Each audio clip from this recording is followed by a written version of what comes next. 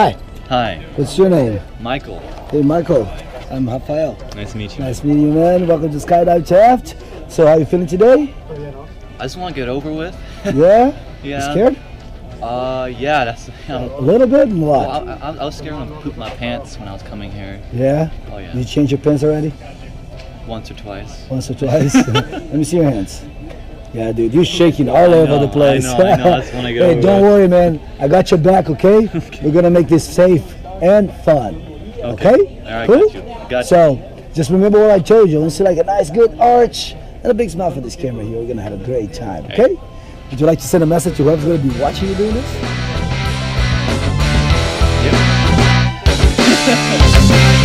Yep.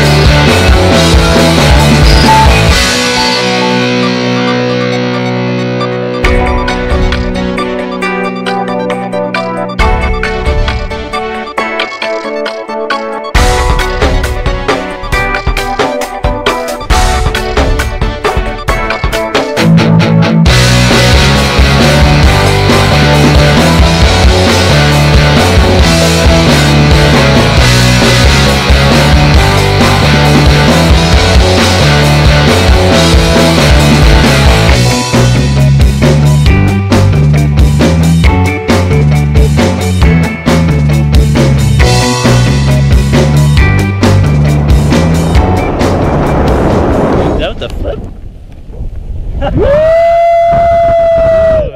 was it, man? It wasn't so bad. It wasn't so no, bad. No, it was, pretty cool. Huh? Come on. It was so easy. Yeah, it is so the, easy. The thing I had to do is just jump off. Jump off and have fun. Congratulations, you jumped fun.